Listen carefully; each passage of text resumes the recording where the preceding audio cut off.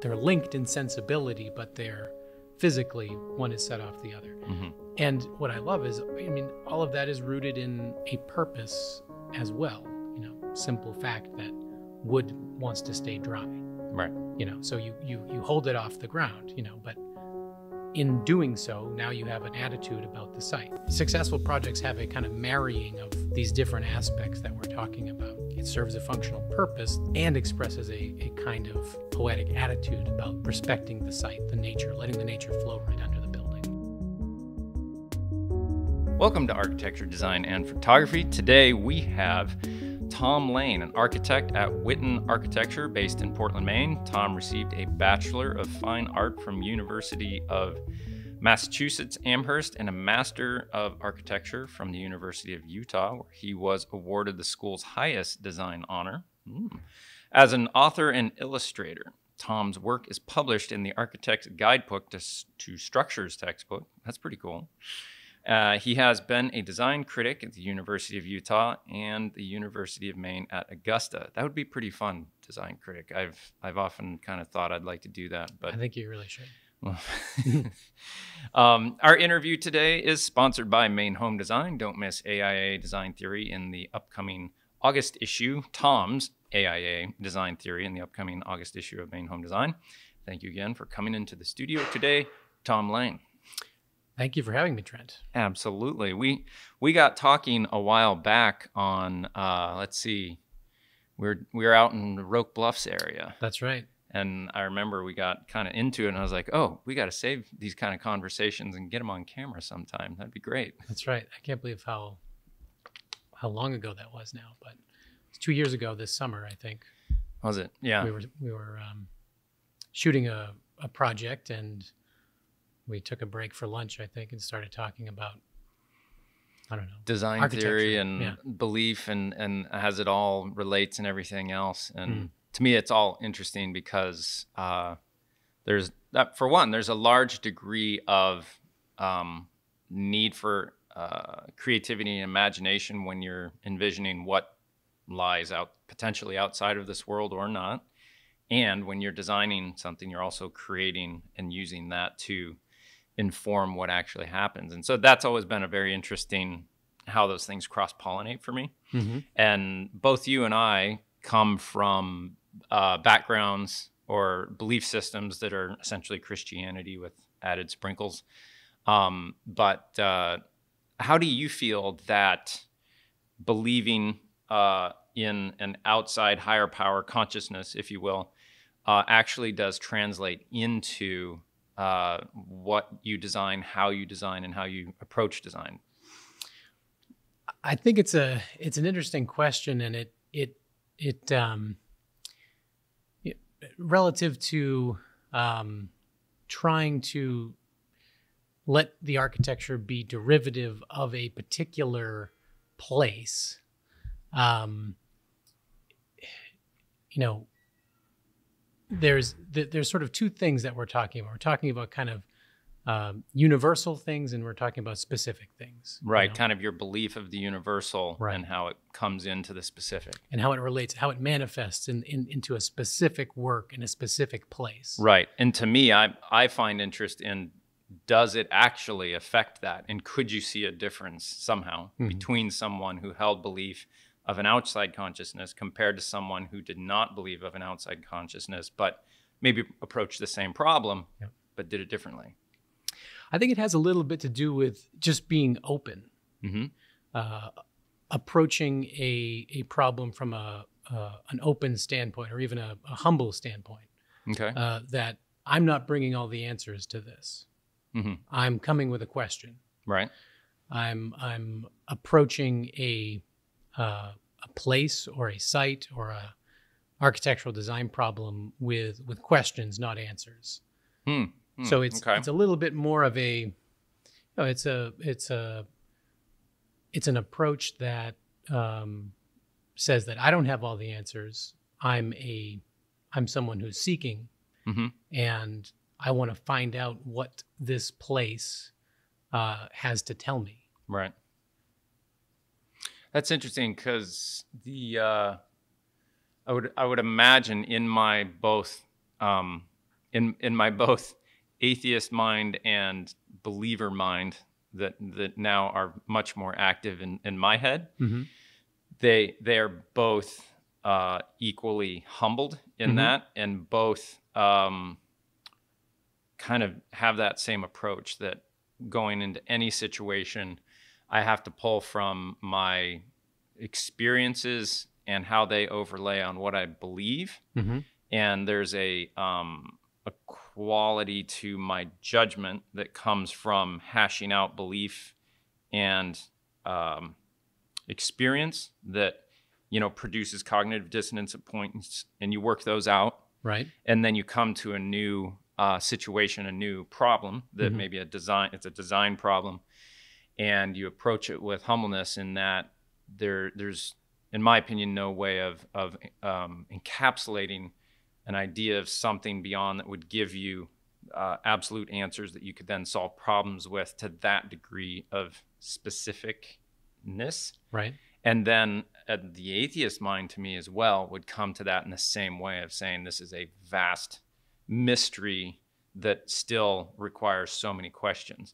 Right. And I was just speaking with someone the other day who, um, you know, it's- it felt like no, no matter the, there, there'd be outliers like extreme fundamentalists on on either side of of a belief spectrum that Mhm. would maybe bring that personality to a problem that they're approaching.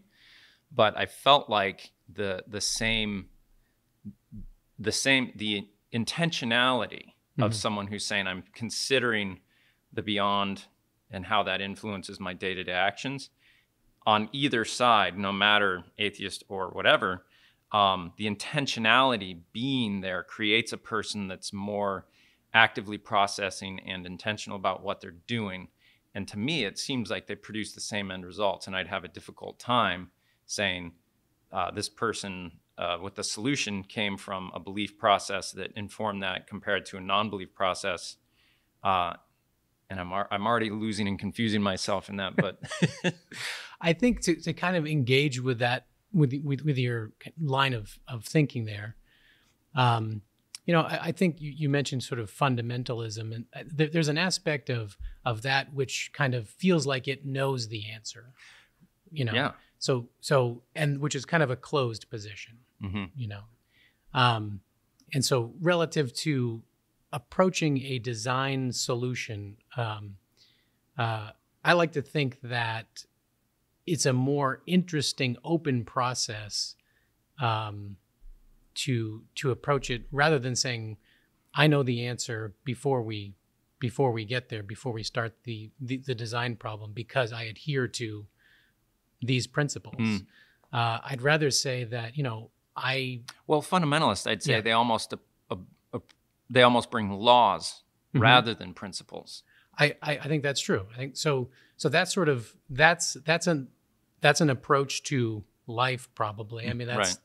you know that that can apply to your um, kind of uh, spiritual side or not. Right. But I think a kind of mature approach to uh, belief in your place in the kind of universe, because you know that's what we're talking about a little bit. Um, a mature approach to that uh, leads to humility because you you you uh, uh, you realize that there's only a few things that you're certain of, you know, Mm.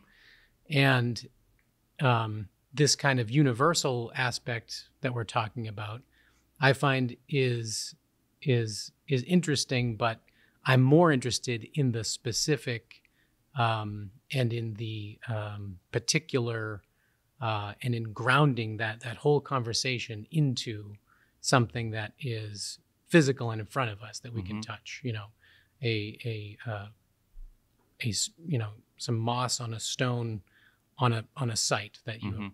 that when you arrive there there's something about that specific experience that that that um, that brings out the kind of spirit of a place That- Right.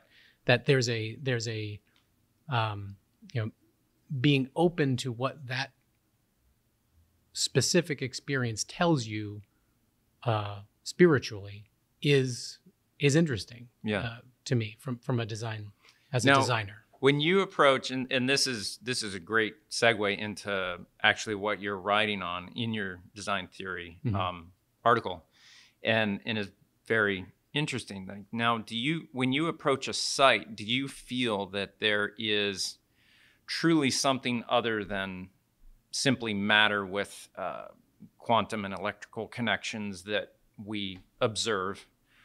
Do you feel that there's actually more there that communicates like a spirit of place to you to some degree? You know, I think that um, I think we as human beings, you know, have uh, feelings, emotions, imagination that overlays our direct experience of floors, walls, ceiling, light, mm-hmm. um, and and it's you know that's sort of what poetry is about. That's what art is about.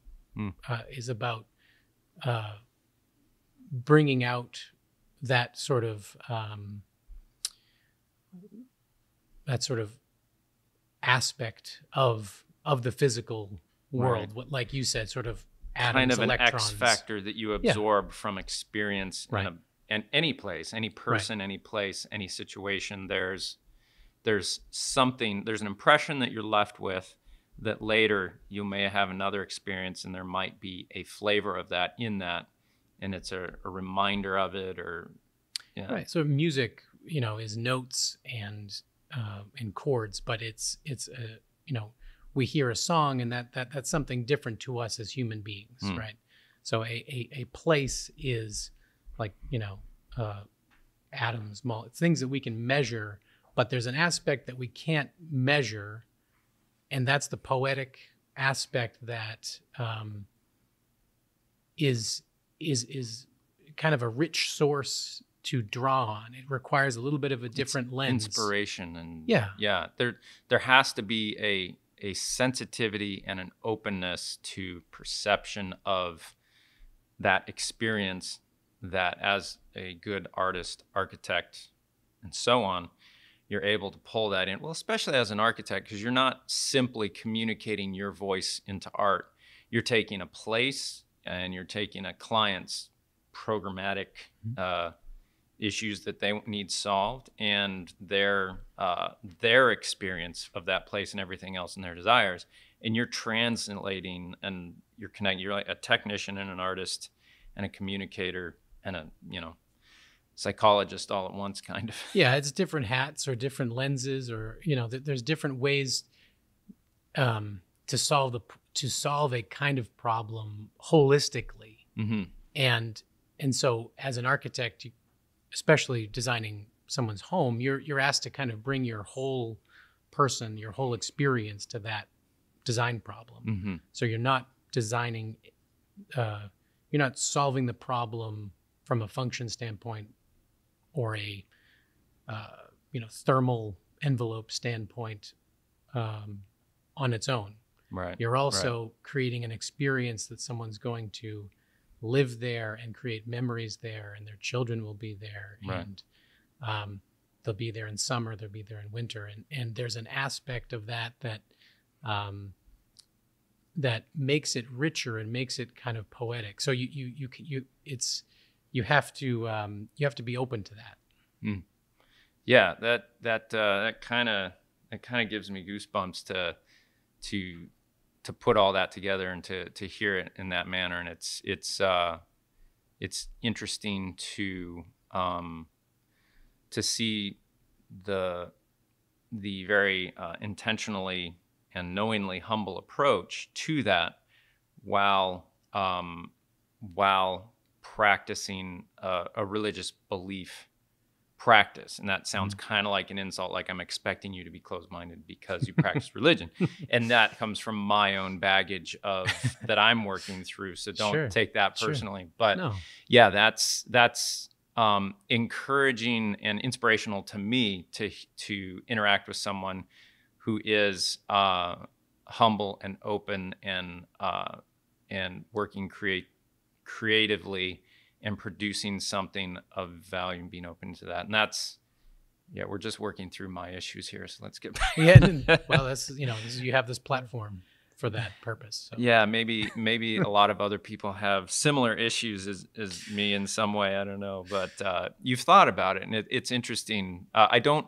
It's hard for me to find someone who's um, thought as much about what they believe and how it connects to what they do and how they serve others in in a in a design format like that and, Right. and is able to verbalize it Yeah. it's it's not people do it really well Yeah. but they might not be able to articulate it to the Right. level and the depth that, that Right. you are I I I consider it something like you know uh, I don't personally have all the answers. I'm a uh, participant. I'm a uh, uh, you know I'm a questioner, and I'm and I'm on a journey that we're all on. mm-hmm. You know, uh, in this experience, right and um, I think it's interesting that in our our work, you know, together with my my colleagues at at Whitten Architects, we get to tap into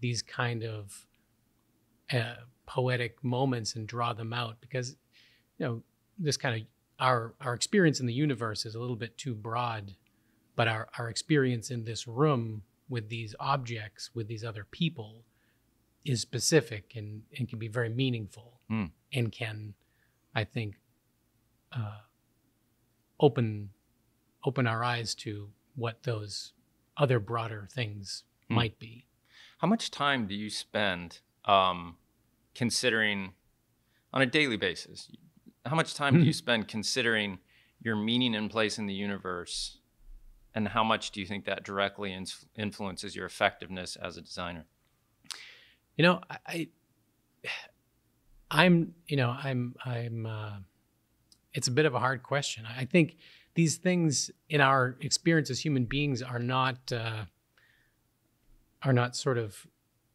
uh, separate. You Mhm. know, right? These things are overlaid. You know what I Mhm. mean? Um, especially working from home, yeah. Because you know you're honey can you reach us at the top cabinet? Yeah and it's and it's you know you're you're in my case i have two daughters you know what i mean? And Yeah. they're you know they're they're uh, i interact with them much more on a daily basis now. And for me they're my door to um, a, a broader universe you Hmm. know?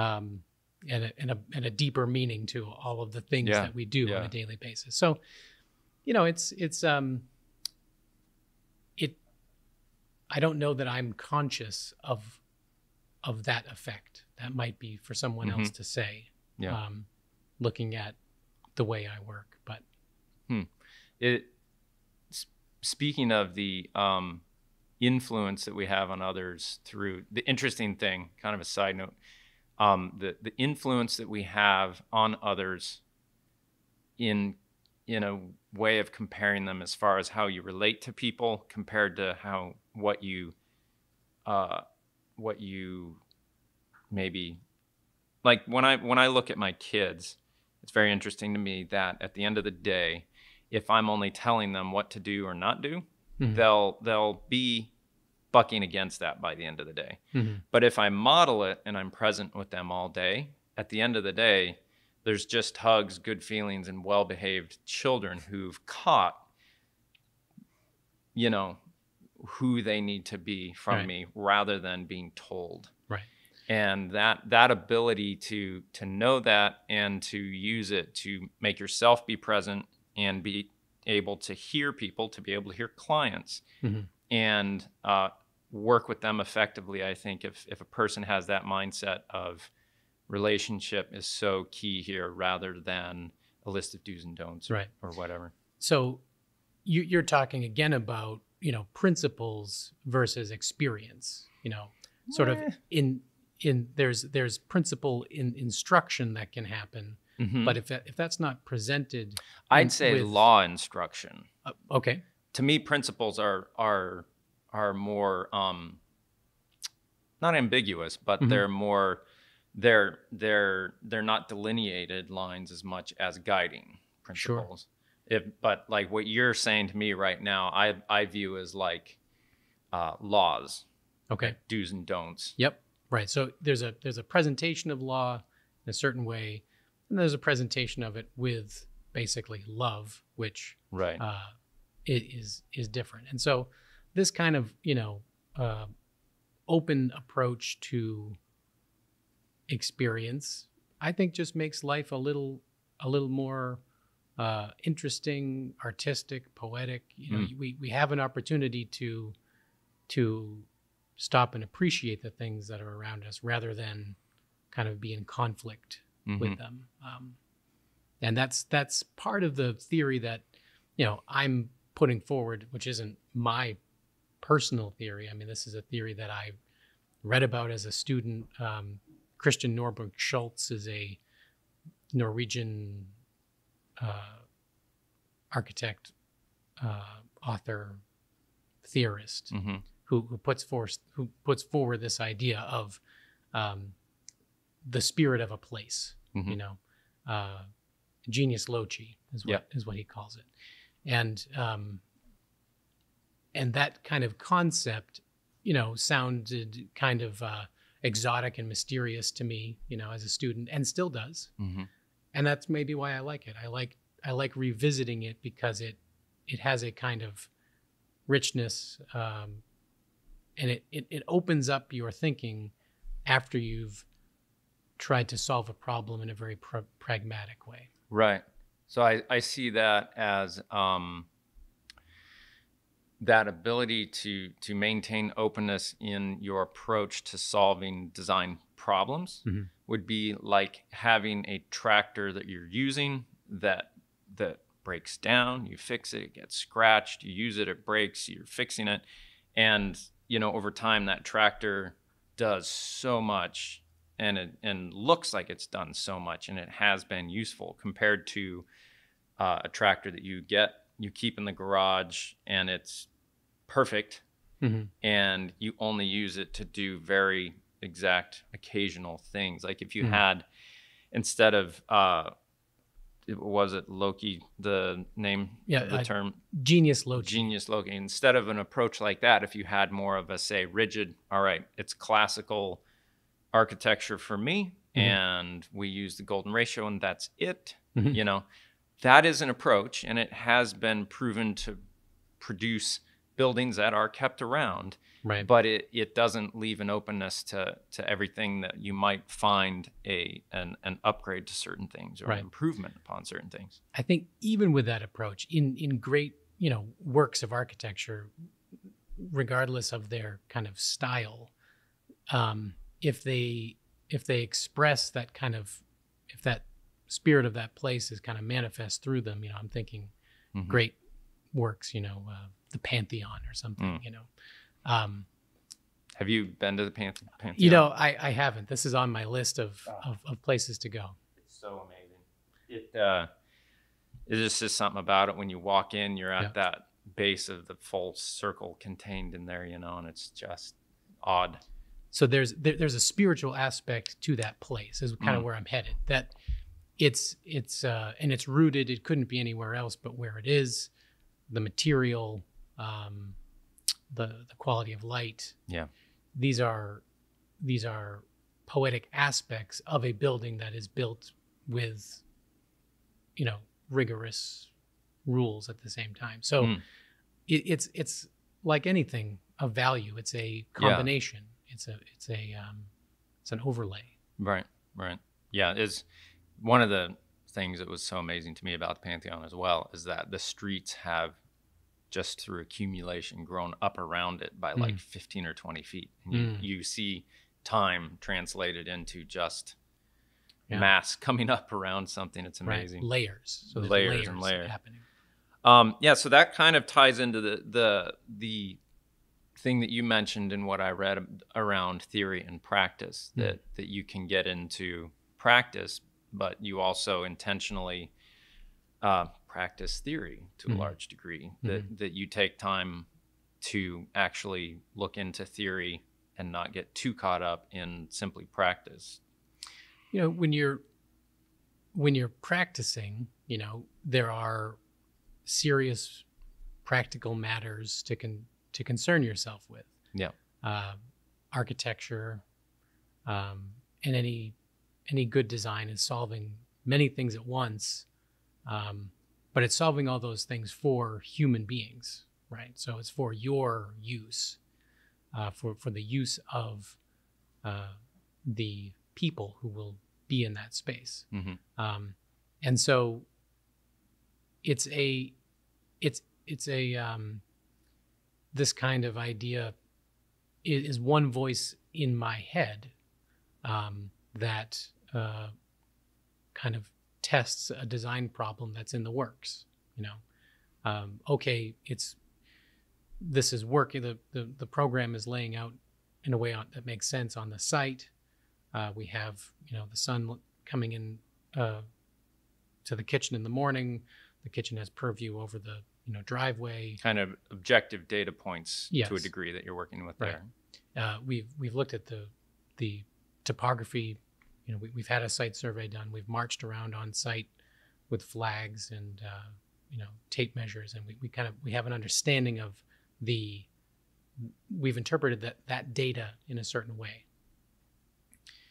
But uh, now, you know, what about the aspect that's going to elevate this to Right. to a different What's going to give it this X factor Mhm. that you can that you invest in time and experience on that site as a designer, and you try and translate your Right. your felt subjective experience into that built environment, along with uh, translating what your clients are communicating to you as well.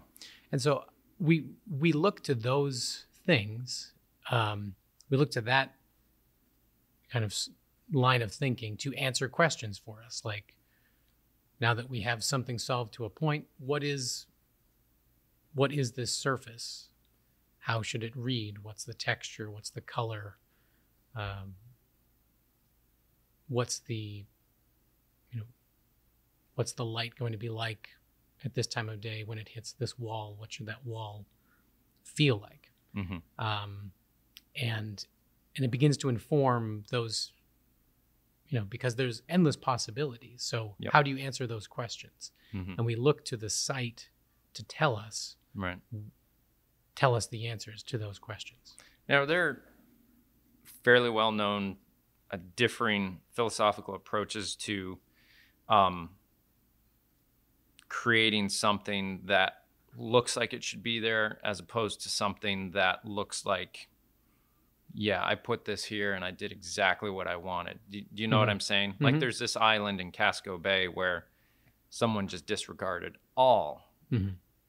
everything, regulations and Mhm. everything else. And there's all these massive red barns and huge like Greek columns. I don't know if you've Mm. been by that island I, or not. I, I don't know it but I, I- hear what you're saying you know the two approaches one is it something kind of looks like it grew right out of the site and another Mhm. one is a kind of counterpoint to the site Just imposed on it. Right. Yeah. Right. And that that can be done in such a way that it enhances what's on the site Kind of a complementary contrast or Right. something. right i, I think of kind of the uh the uh, Villa Savoye, you know, Le Corbusier's white house on Mm, Pilotis that sits in a green landscape, and it's it's a deliberate, right. Right. Separation from. You know, it's it's it's a it's deliberately saying this is man-made, this is nature, and they they Hmm. one sits on the other delicately, uh, and then one's white and the other is green. Right. You know. Yeah. It doesn't have to be a loud uh, accident, you know, Right. where it can be if not done uh, thoughtfully. But Right. like in that instance, it's a it's a beautiful contrast. Right. So Hmm. it, it doesn't have to, you know, this this kind of site responsive design work, trying to find the spirit of the of the of the place, um, doesn't mean that it's going to be, you know, woodsy and brown and dark. You know, Mhm. it, it if you're on a wooded site, um, it might mean that you enhance that. Maybe you, you know, I'm thinking of the of, of a project that um, you you photographed. Um, and uh, you know the the site was kind of mossy and and and a little bit dark and um, we decided to engage with that we decided to kind of root into that with board form concrete in one aspect, build right from the exposed ledge and lay these layers of board form concrete that kind of felt like it was growing right out of the ledge, Mm. you know, um, one aspect of the house. And the other aspect is galvanized steel columns that, uh, you know, are very deliberately pinned to that ledge and are a counterpoint to it. Hmm. So then the house sits on on these these columns and, and kind of floats above the site, uh, in Right. addition to engaging with it. Right. Yeah, I uh, we were just taking a walk in the woods yesterday uh, with my kids, and uh, we found a well, we found this apple tree that was like this big around and had been burnt out in the middle. It looked like Mm. thing looked like it should be 200 years old, but there's a lot of just rolling ledge, very similar to that site that you're speaking of, and to me, it's always been nice in those situations to think about somehow just anchoring to those and spanning and letting the landscape just be very natural, but have kind of that pulled up and just floating above. Maybe maybe it was your guys' project that shooting that, you know, really got me thinking more and more about that to somehow span those distances, but just kind of be in it, but just a little above it and supported by it. Yeah, there's sort of a um, you know different historic precedent. Different cultures have done this in different ways. You know, this what we're talking about has a little bit of a, a an Asian sort of or Japanese kind of garden feel where Mhm. you know there's um, there's columns that sit on site. There's a there's a long porch, um, and the relationship between site and building is is a little bit separated, but they're they're they're they're linked in sensibility, but they're physically one is set off the other. Mhm. And what I love is, I mean, all of that is rooted in in a a purpose as well. You know, simple fact that wood wants to stay dry. Right. You know, so you you you hold it off the ground. You know, but in doing so, now you have an attitude about the site Right. you know and, Right. and on the on the project we were talking about earlier concrete doesn't care if it gets wet Mhm. so you can bring that right on top of the stone and so there's a um, you know i think successful projects have a kind of marrying of of these different aspects that we're talking about where there's a um, it serves a functional purpose doing what we're doing um, and expresses a, a kind of um, poetic attitude about respecting the site, the nature, letting the nature flow right under the building, for Mhm. example. Now, uh, I had read that you have been involved in some um, museums and such. I have worked in museum projects. Yeah. Talk to me about working on uh, projects of that scale compared to working as a residential architect. Yeah. I, I had the opportunity to, um, working out west, I worked in Salt Lake City for a while. Uh, Beautiful city, by the way. We went through there a few years ago. It, it is. And it's, it's a uh, um, great city for, you know, being, having a real urban place really close to uh, the Wasatch Front. The Rocky Mountains are right there. Mhm. Um, that's where the university is too. Um, and we worked on um, the, uh, the Utah Museum of Fine Art. Um, oh, wow. Which is a, uh, project that was completed by uh, or designed by Machado and Silvetti. They're out of Boston, hmm um, and we I worked for the firm that was the, the the local architect, and we had we were commissioned to come back and do some uh, addition remodel Mhm. kind of work there.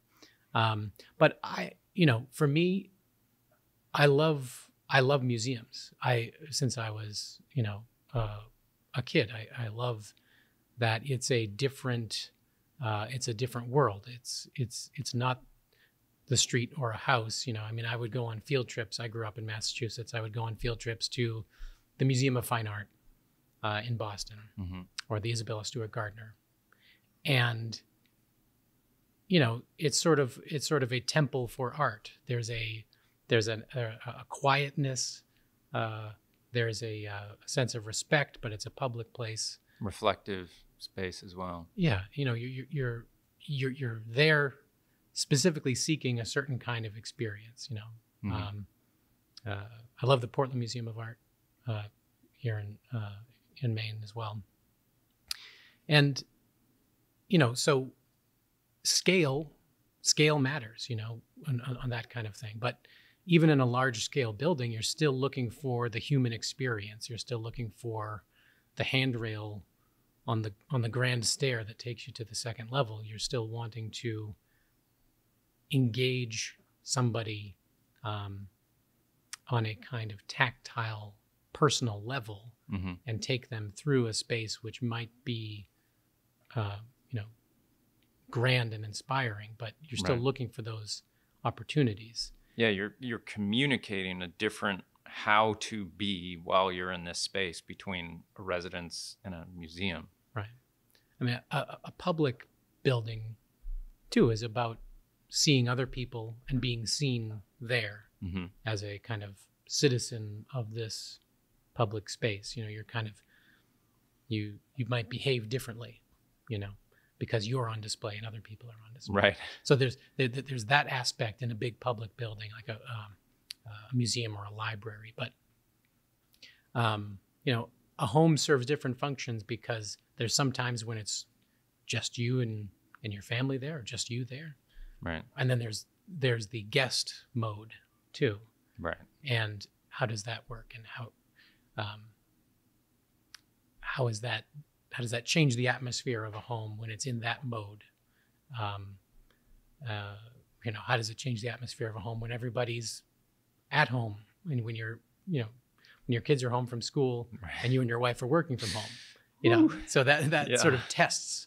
Yeah. that kind of tests the house out in a different in a different mode um, Are you guys all still working from home right now? Uh, we are, yeah, uh, and it's been a good. You know, I, I I'm conscious of the fact that uh, this, you know, working from home experience is not equal for everybody. Um, in our, in my you know personal case, it's been a it's been a time to you know be with my family more often than I have ever. So it's it's it has a positive aspect. Yeah, yeah. I've uh, I, work's obviously been a lot slower for me since March, Mhm. and it's been it's been really nice to have just more flexible time to just you know go on walks in the woods with my kids and now that things are starting to you know ramp back up there, there's definitely a little bit of uh, pit in my stomach like like ah man i'm gonna it's gonna get busy and i'm not gonna you know be able to spend as much time and you know and so the you know the stress starts to come back in of like all right you got to start being productive and yeah right. busy Yeah, it, does, it does. It asks the question. You know, is there a way to kind of design your? Is there a different approach to designing our lives now? Now that we've seen this Mm. this one way of living, that it will inform things. yep I don't know.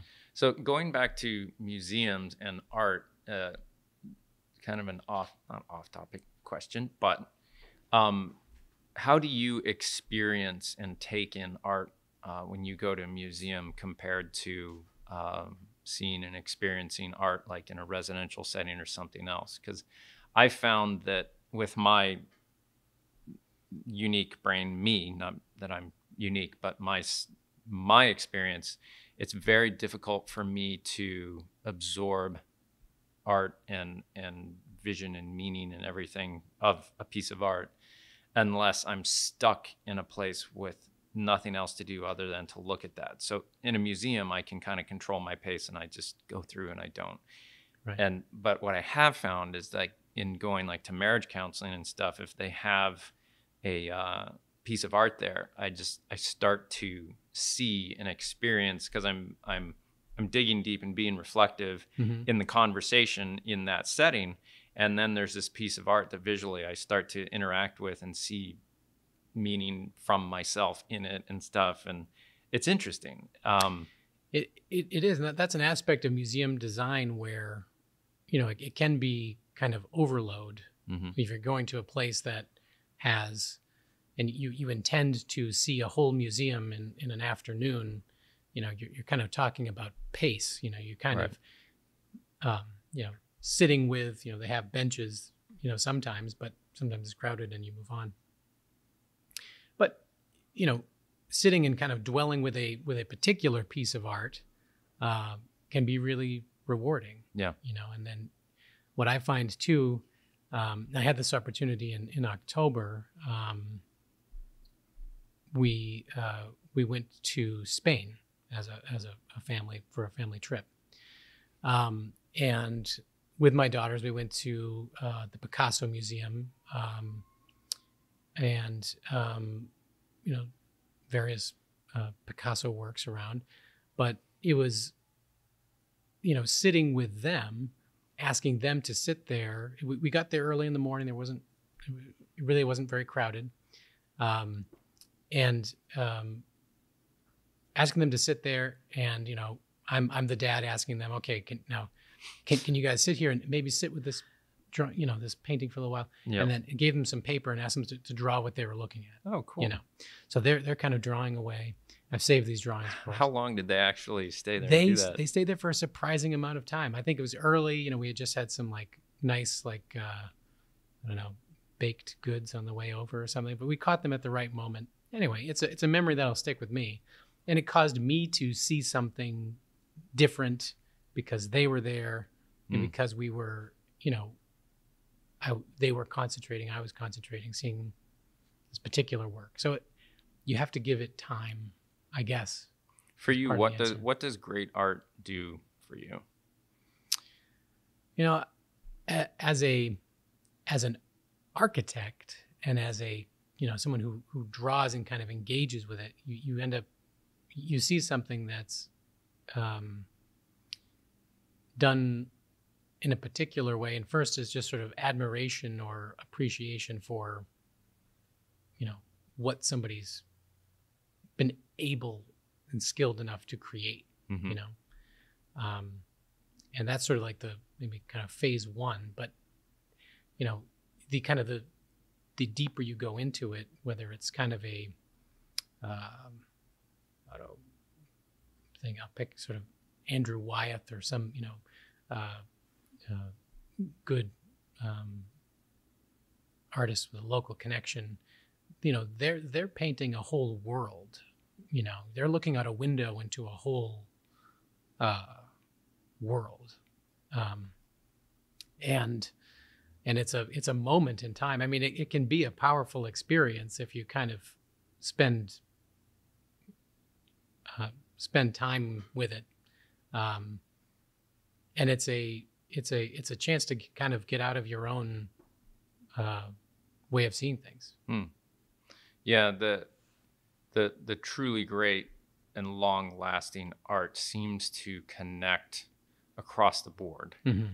it- as it is something that someone has to a degree looked into the void and seen something in addition and has Mhm. brought it back and has said here it is what do you guys think and Mhm. it's kind of like everyone's like yep we see it too you know Yeah. there's there's that experience of the creative go- possessing openness as a personality trait venturing into experience in the unknown the chaos if you will right and bringing something back in the form of art and articulating that in art and then handing it to the general population and they Right. say wow we we see more now right they're, they're they're going into the mind for us right? Yeah. They're kind of going and finding this something bringing it out putting it in front of us. Mm. uh, a rothko painting something that's kind of abstract where you're kind of um, you're, you're you're just there in observation but Mhm. you you see something of what the artist saw. Right. And and that's about again not not thinking as as yourself you're opening your um, perception to their perception Hmm. which is you know usually highly sensitive and highly specific Yeah, it, it's it's really interesting to me. I keep I got to get away from that word because I I just lead out with that every time. It's really interesting to me. But anyways, I find it fascinating. Um, the the peering into the chaos and and and the artistic personality is generally more sensitive, more volatile, uh, and but there's an ability through that to perceive more and to then return with something. And there's also a personality trait of openness that allows them to venture into the unknown and experience and bring that back. Um, and there's there's a typically liberal personality type, and I'm not talking politically or anything else. They have it branches out that way and will generally end up there. But as a personality type of someone who's more conservative or Mhm. a personality type is more liberal, um, a, cons- a conservative will be more organized uh, Yeah. and will be more consistent and more reliable. And a liberal personality type will be uh, more sensitive, more open to new experiences, um, and will find comfort and meaning from change and exploring chaos. Where a conservative personality type will more so want to exist within the realm of the, the known and organize and manage that a little bit, right? And Mhm. so if you had endless liberal personality types, nothing would get done. and we'd all be running into walls and around. And if we had all conservative, Yeah. we'd never discover anything new potentially, right? Yeah. And so they're a extremely complementary um, marriage. Uh, Yeah. It's it's as much as male and female. Yeah. Uh, a distribution of the personality types across the world is pretty much 50-50 and you see it actually when it translates into voting um, you'll have just a very conservative base a very liberal base and there's very few that are in between who actually kind of make the decision the, Right. the independents right And, and I, I love the I love the the counter examples to that Mhm. to that division, you know. Uh, and this is you know part of what being an architect is for me is is is reconciling that. You know, Well, I'm- it's demanded of an architect. Yeah, You yeah. have to bring that organizational and that experiential in. And that's, Right. I think, why they call architecture one of the greatest art forms. I, I forget who that quote is and what exactly the quote is. Yeah. But yeah, that it's demanded.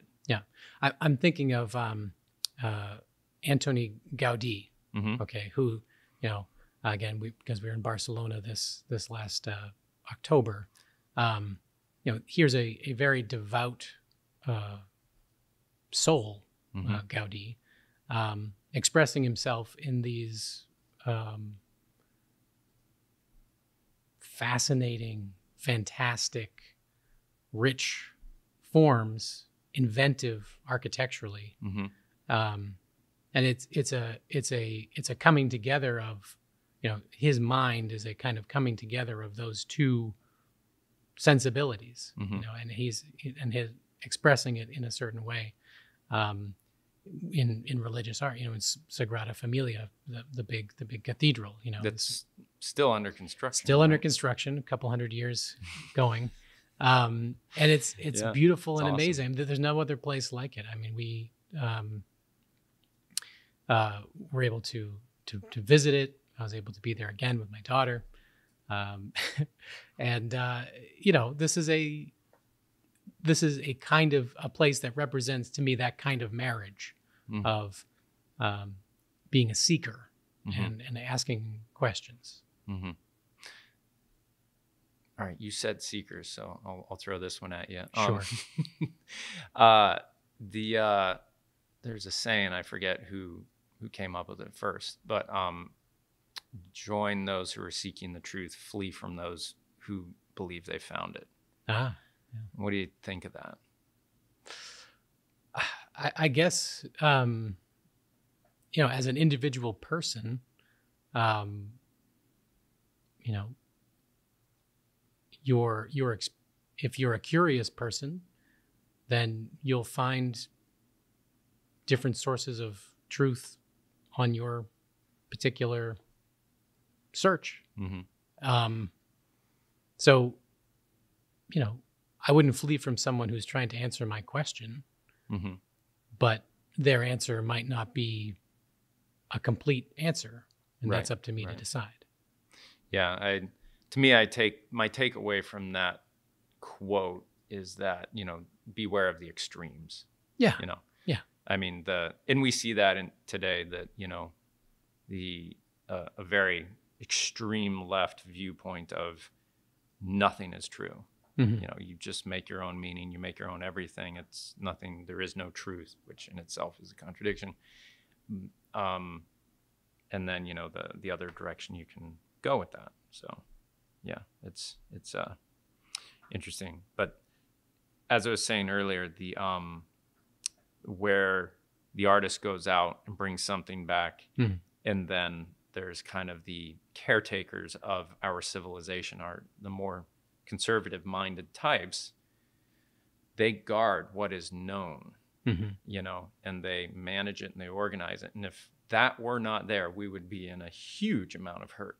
Conservative personality Right. types play an immense role, and they they they protect and curate and maintain what is articulated knowledge, what is known. And it's as it should be that it is extremely difficult to find further truth that is accepted into the established articulated set of knowledge that we as a society maintain hmm and i struggled with that for a long time because i'm i'm neither a leader nor a follower i have a weird thing going on hmm and it seems like i'd perceive things and i'd try and run it against people that i know that are conservative not against but i'd run it past them and they'd Yeah. just constantly block and, and Right. and i realized at one point that's how it should be that Mm. were you to just throw whatever you wanted into the articulated knowledge that we have as a society, that it would be absolute chaos everywhere. But there's that, um, there's a proximal zone of development where you can place yourself comfortably in the chaos and the unknown hmm and develop yourself while not overstressing yourself with the Mhm. unknown. So you place yourself enough experientially into there where your personality fits for venturing there as much as possible, but also existing within the, the confines of what is known. You overdo it, you'll overdo it, you know, you underdo it and you won't develop. So to kind of ground, you know, again, I'm I'm physically minded, so I'm going to Mhm. ground what you're saying in, into a physical example for me, Right. which is a beautiful brick wall. hmm Okay. Uh, which we have a lot which of you, there's a lot of outside. beautiful inside. brick walls here. Um, each brick is from the earth, um, is is put into its forms and is put in different positions inside of a kiln. And is when the kiln's fired, the bricks come out redder or blacker, or whatever color, depending on the mineral content of that soil or the Mhm. earth.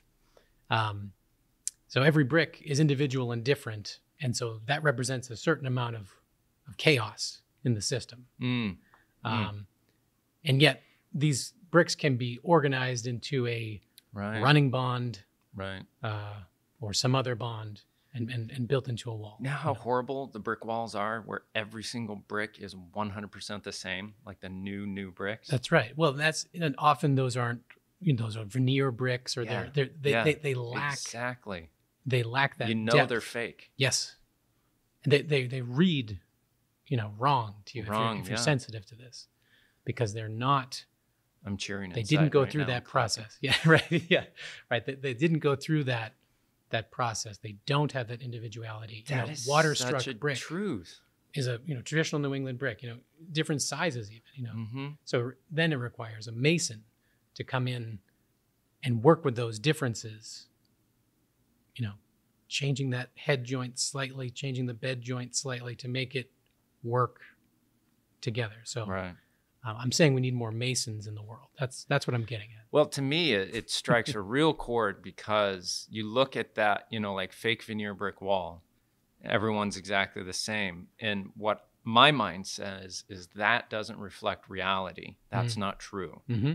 Not that it's a fake brick wall that it's not true, but like every single one of those bricks shouldn't be exactly the same, just like us.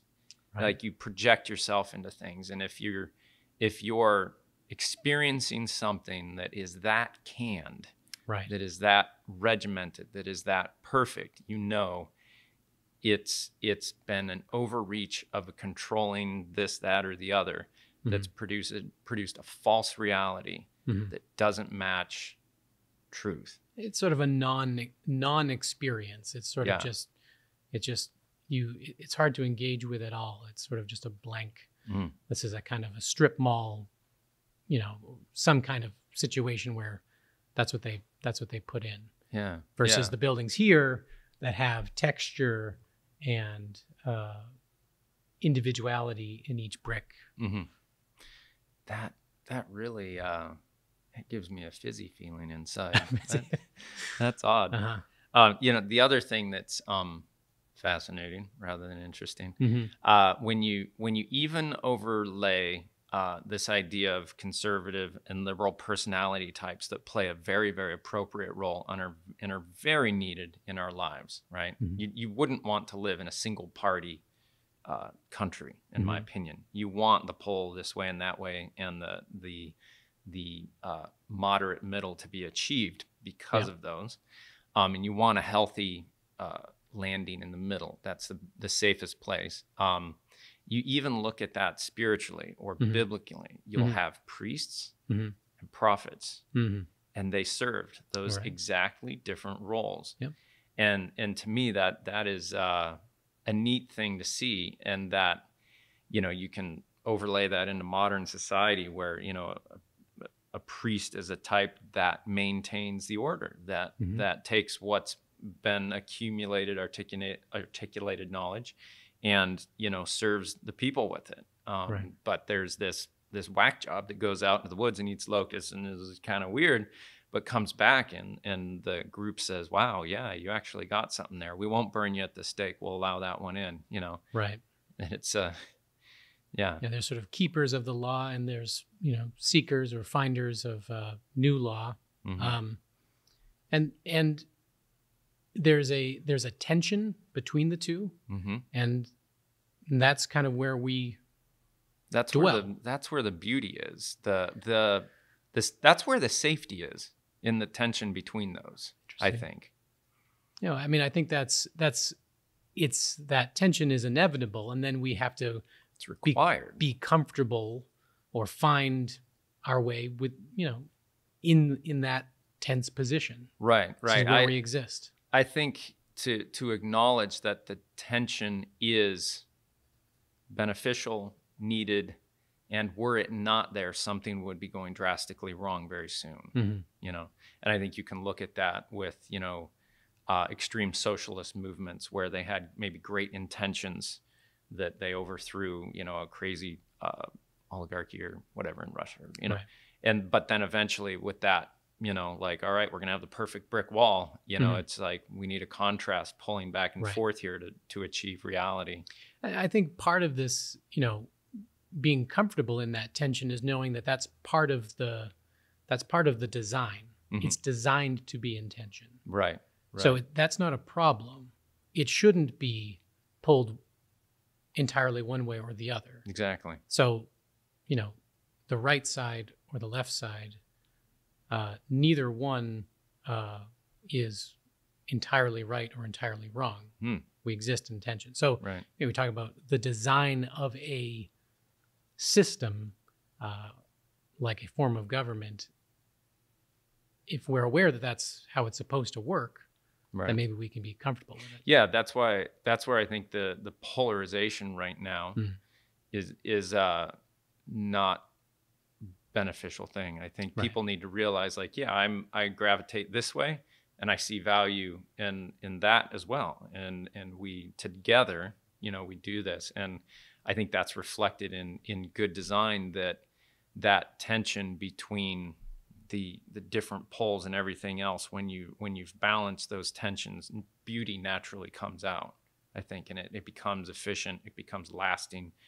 Uh, yeah i think that's that's good stuff Mhm.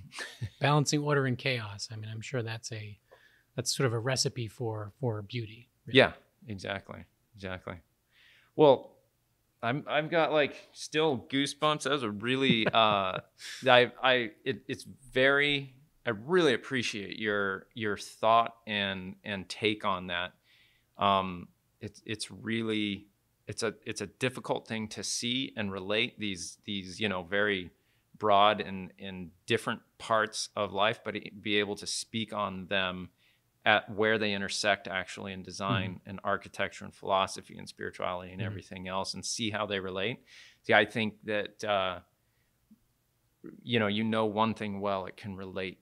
You can know all things through knowing one thing well. Mhm. and seeing like just the the beauty in a a well uh, designed and executed joint in wood, Mhm. um, were that joint made too rigid and not to allow for the flexibility and everything else that is in ine- that is inevitable, that Right. joint fails and it's not Right. beautiful. But that joint uh, and seeing how it goes together and how it works with expansion and contraction and and it lasts, you see that beauty of you know understanding reality and designing for it and creating that. And when you see that through philosophy and life and everything else, you you you really get an idea of you know wabi sabi to a degree and and all these other kind of ideas and philosophies around life and design that uh, when you see it in one place you see it in the other and you you start to perceive more i think you get more understanding and you and you gain more peace from that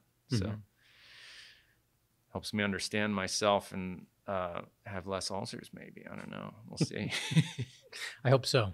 Yes, yes, absolutely. But yeah, again, I super appreciate um, that that uh, you you came down today and uh, we finally got to have have this conversation and, and really appreciate how your mind works and uh, and really uh, look forward to reading your full article and everything else. And uh, thanks again. Thank you, Trent. I appreciate your thoughtful questions and, just where where where your mind goes as well. Left So- field, right, right. all over the place. Yeah. yeah, cool. Well, thanks so much. Thanks, Trent.